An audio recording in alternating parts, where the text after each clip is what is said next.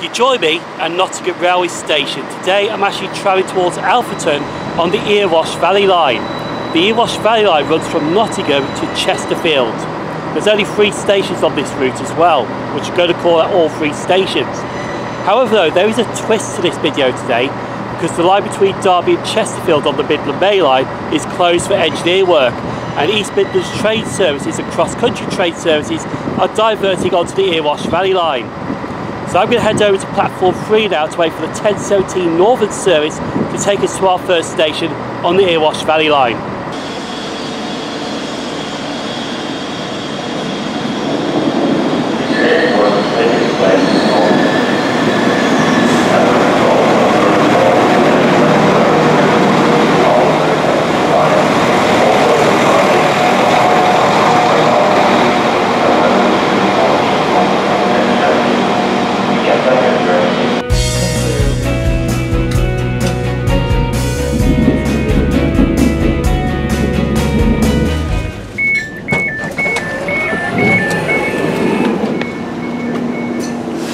So most of my journey towards Alfreton today is actually relying on Northern. So a lot of Class 195 DMUs will be ridden on today. However though, it has brought me to the first station right here. This is Ilkeston Station.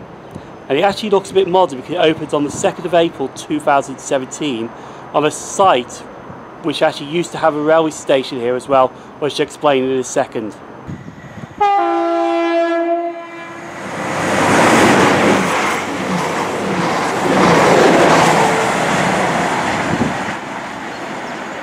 So as I mentioned earlier, this railway station is actually built on the site of a former railway station because the Midland Railway opened Ilkeston Junction on the 6th of September 1847, which is actually on the same site as Ilkeston today. In 1890 it was renamed to Ilkeston and Cossall, however the station did close on the 2nd of September 1967. Actually that date is wrong, it's the 2nd of January 1967 the station closed not the 2nd of September 1967. And it didn't reopen until 2017 as you see today.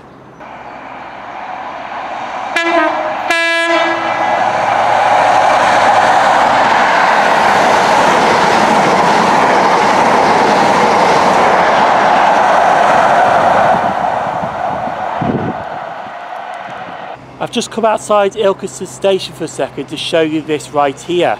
It just looks like a road under a bridge, nothing exciting. However though, this used to be trackbed for a third platform that was here when it opened as Ilkeston Junction and took trains towards Ilkeston Town. But that line closed in 1950, while the station at Ilkeston Town closed at 1950. But you can just see where the old trackbed used to be today. However though, I am going back towards Ilkeston Station now because I'm catching the 1129 Northern service to Langley Mill, the next station up the line.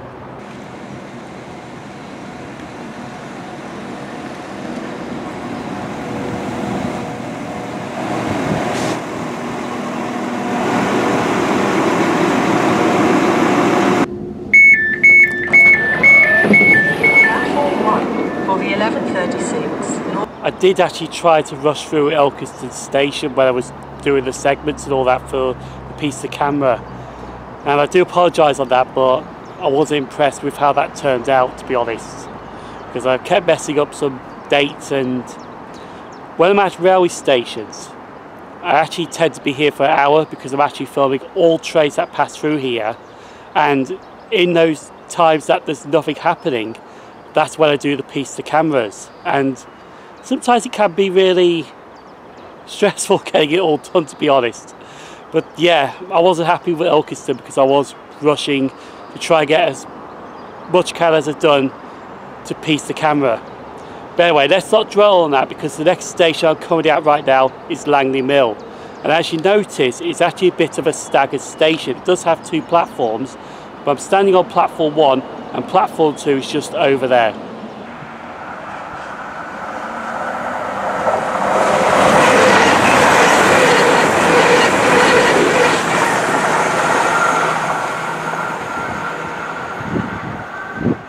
Now Langley Mill Station was also opened on the 6th of September 1847 by the Midland Railway.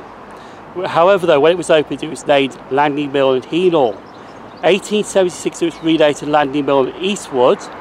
1933 it was relayed to Langley Mill and Eastwood for Heanor. I think that's how you pronounce that.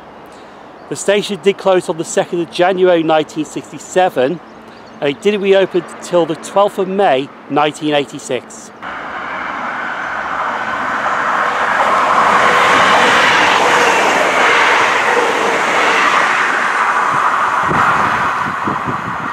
Now I did say at the start of the video there was a twist to this video with the East Midlands Railway London St Pancras to Sheffield services and the cross-country train services diverting on the Erewash Valley line. Well this scenario has taken an unexpected turn because there's another twist to this as well. Because I have noticed there's some interesting movements on the Erewash Valley line as well.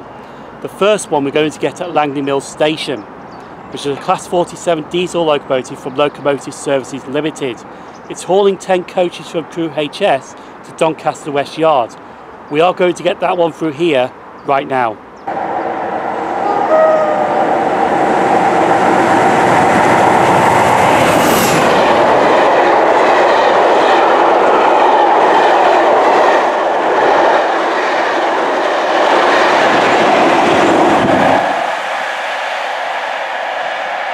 So now we've got that class 47 out the way, I'm going to move on to Alfreton Station to get the other interesting movement, 2Q08, Derby RTC to Doncaster West Yard.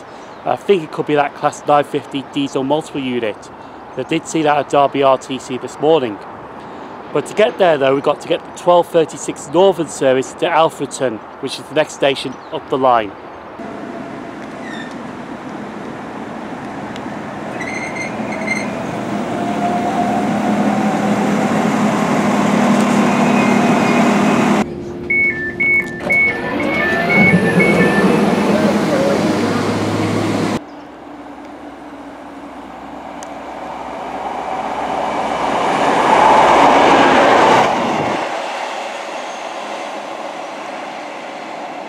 Quite surprised with that to be honest with you, because I thought it was going to be the Class 950 DMU that was going to come through Alfreton. Turns out it was a Class 153 diesel multiple unit. Anyway, we do love a good dog box, so it's nice to see a dog box. But we are at the last station on the Erewash Valley line. This is Alfreton Station. It is a bit longer because it does have two platforms, but it has more services stopping here than Langley Mill and Ilkeston. And when I came off that Northern service at Alfreton, that's the last time I'll be travelling on Northern today. I'll explain a bit more when we're about to leave Alfreton.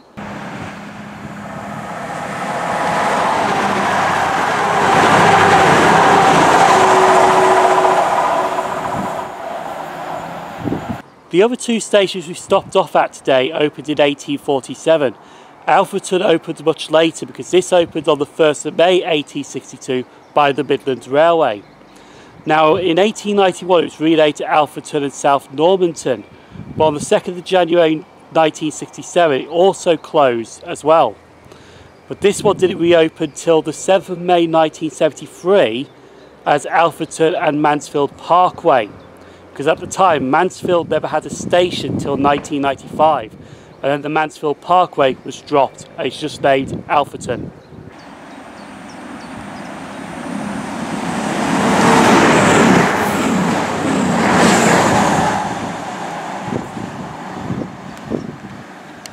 Originally I was going to go to Chesterfield on Northern to complete the entire Erewash Valley line.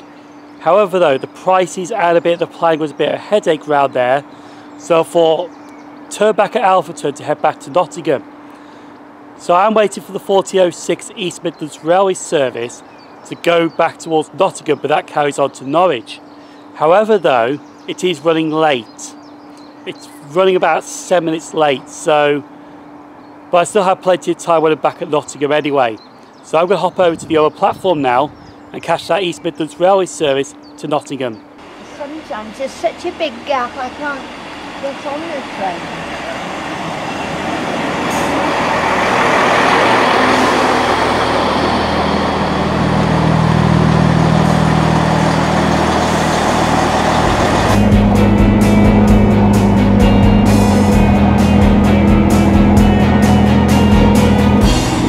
Really surprised me this.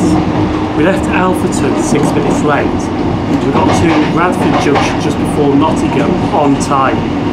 So this class 158 has really hammered it down the Erewash Valley line and we're going to be in Nottingham on time.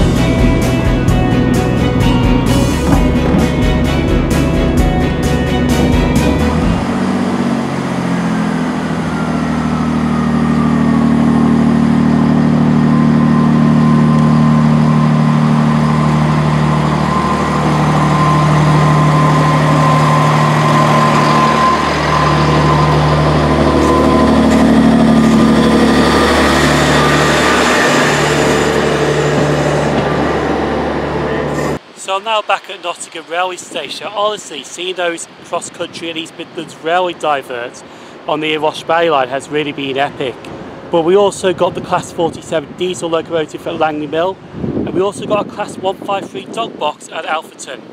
And other than the mess up at Ilkeston, because I was just trying to rush that to get that through, it has really been good on the Erewash Valley line. I'm going to drop a video right here. Feel free to give that a click people on screen now, YouTube channel members and Patreon supporters, thank you for supporting the channel. I've been SimOnTrains. I'm going to leave Nottingham now back to Tamworth. Thanks for watching, stay safe. I'll see you on the journey down the line in the future.